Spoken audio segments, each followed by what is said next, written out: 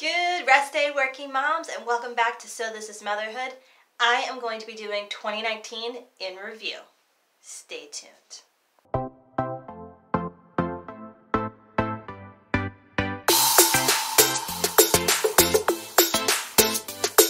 Good rest day, working moms, and welcome back to So This Is Motherhood. If this is your first time tuning in, I just want to say thank you so very much for for clicking and for choosing to spend your Sunday with me. Me and baby Virgo here are going to give you a very quick but very informative 2019 in review. So I left you guys hanging last year, and I wanted to apologize for that. Um, uh, as you know, I was driving a lot for my apprenticeship. Um, all summer, I was in Cleveland, and I was pretty burnt out. I was driving over what hundreds of miles a week. It was insane. The, don't even get me started on the tolls and how much money I spent on gas. I was pretty exhausted. So, needless to say, when that job ended, I couldn't have been more thrilled. Um, I was very happy to get a local job in the local schools. Um, so that started out actually pretty well. Um, I was doing my basic 7 a.m. to 3, Monday through Friday. Then the schools wanted their deadline meet, so, you know, before the school year started. So then we started working at 6.30 in the morning. Ooh, are you getting down? Okay. And then it started being 6 a.m. and it just kept growing and growing. Like as far as like the times that they wanted us to work. As you guys know, baby Virgo likes to get into things. Um, my when I first my first day I started with a new contractor at the um, at the schools. I sliced my hand open and I ended up going to the urgent care and I ended up with four stitches. If you guys followed my Instagram, um, up here in that corner there. I posted it as soon as I went in. Um, I did, however, archive it, so if you want to check out those gnarly stitches, it's under uh, my highlights called Work with the uh, lightning bolts. And then, of course, um, shortly after I was on day turn, they decided to switch us to afternoons, so that totally put a damper in everything for my schedule. It really messed up my flow, my routine, especially with people Virgo. And then not only was I ended up on a short call, then I got laid off shortly after. So I went to my side hustle for a little while. And they're like, well, no, you're just getting transitioned. I'm like, okay, so where am I going? Oh, we don't know, but you're getting transition. Okay. I believe I was in transition for like a week or two, and then I ended up out in Orwell. Yes, I went out. I ended up out in Orwell, which is about a forty-minute drive from where I live, and um, literally within my first two weeks of being there, this older lady who's a journeyman was trying to get me like like fired. It was insane. Thankfully, we had a, a union steward on on the site, so she of course advocated for me, you know, and didn't let them try to take advantage of me. Um, it was really, really not a pleasant experience. It was definitely a hostile work environment. If you pick up on what I'm putting down. Anakin, please stop. And uh, no, no, no, no, no, no. No, no, no, no, no. No. Excuse me. So anyway, um, it was a pretty much a hostile work environment. It was, I dreaded going, but it was nice to be working, you know, consistently, so to speak, and only having like a one or two break, one or two week break, I should say. Um, so fast forward to October. Hi, baby. October 2019, and I just Anakin's really sick at this point. He's had another double ear infection, and I finally have him evaluated by a myofunctional therapist because he's just he can't get the drainage out. We're doing everything like honey, all the home remedies in the book, and he just can't break, get out of this whole like mucus sinus drainage nonsense. And he's snoring, and his apnea has gotten worse. So I take him to a myofunctional therapist, the best there is, and we learn that you know he has a malocclusion, so his top jawline and his bottom jawline should only have a one millimeter gap between the two of them, and his is four millimeters, and we believe it's because his tongue tie reattached. When he was three weeks and I want to say four or five days old, we had his tongue and his lip tie re- uh, revised. And I know it's a super controversial subject, but he was a miserable baby. He was screaming all the time. He had colic. He was gassy. He was uncomfortable. And I knew he was in pain just by how he was screaming. And I kept saying, even when he was first born, you know, um, you know, there's something wrong with with him. I'm like, there's something wrong with his lip. I could tell. And he was class three lip tie with a posterior tongue tie. So I'm kind of very upset that that procedure didn't really work for him and his tongue tie reattached. But as far as the myofunctional therapist is concerned, well, what she told me was, yeah, tie's revision changed the form, but not the function. So because he was too little to like really do like extensive exercises to get those muscles working, and I wasn't able to afford to continue the craniosacral therapy that he was doing when he was little, you know, I would have to drive an hour out of the way, and driving an hour with a three month old was just not happening. And spending a $100 out of pocket, my husband would have killed me. Even though I made a decent paycheck while I was on my postpartum leave, it still wouldn't have been enough, and it would have been feasible at that time. So hindsight being 2020, no better, do better. Um, I don't have any regrets in what I did for him because he started breastfeeding a lot better and we started seeing the chiro more often and that actually helped him quite a bit. So I'm very grateful for what we did, but um, now we have to like just keep doing more interventions. She recommended his tongue getting clipped again. I am not okay with that. Not at his age, not that I can't deal with the trauma, not being able to explain to him what's going on.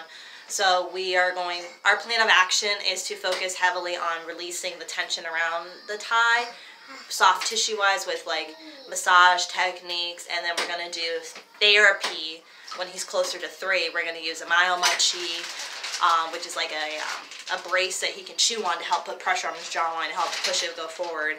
So I, I see good results coming with that. Um, I tried doing it earlier because there was success in Australia as young as 18 months going forward, but that's not the case. So now I just have to be very patient and just wait for him to be closer to three so that we can start that kind of therapy.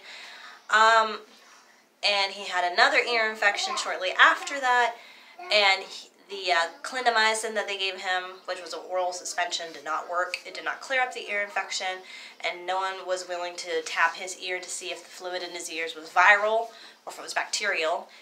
And uh, and it didn't clear it up, and he ended up having to get six shots of Rocephin over the course of three days till Halloween, and that was awful. He was terrified the whole time, and I he's deathly afraid of like doctors, and I'm I'm so I feel so guilty, and I hate that I did that to him, but it wasn't working. So I knew at this point that something had to be done, but I didn't know what, and I was considering tubes and everything else like that, but I didn't have a sign or a confirmation. So I'm still driving over an hour home round trip. Like I'm driving 40 minutes to work, 40 minutes home, and then um, my husband's all the way out in Akron, so that's over an hour away. So we're tired, exhausted, just going through the motions, waiting for the holiday to kick in. And then right before Thanksgiving, he gets laid off and he comes to work with me in Orwell, which is nice. He's already feeling some kind of way because of how hostile they've been treating me up there. Um, the upside of everything like that, though, is that our bond really grew between my husband and I, so I can't really complain about that. It was great to work with him and to carpool and like eat together and like see how he works and he could see how I work and we gave each other pointers. It was really really nice. Um, and as you can see, my walk journey is flourishing. That has been an amazing highlight of 2019. Um, this is, of course, you know, the shrinkage is real. Um, I'm going to slide right here in a second, and I'm going to show you what my locks look like when they were retwisted last time in November. Beautiful, right? Oh my gosh. I, I'm so proud of them.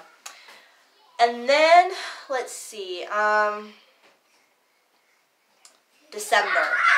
So December rolls around. I'm really excited. I got everything ready for Christmas. And my husband and I both get laid off on December 13th. Friday the 13th at that. So it was kind of ironic and actually kind of funny. I'm not really, oh, excuse me, I'm not really upset about it. It was going to happen anyway. Ooh, excuse me. Um, but of course, like a week goes by and he's back to work, and I'm still at home with baby Virgo. Even now, here, um, on in January, I'm still home. But it's okay. I got my side hustle. I can work the hours I want to work. He has daycare. I can work all the hours I need to make ends meet. Um, but that's basically been my year in review. Um, Christmas, I really don't want to talk too much about Christmas because my Christmas was a combination of horrible and fantastic. Um, I'll make that a subject for next Sunday.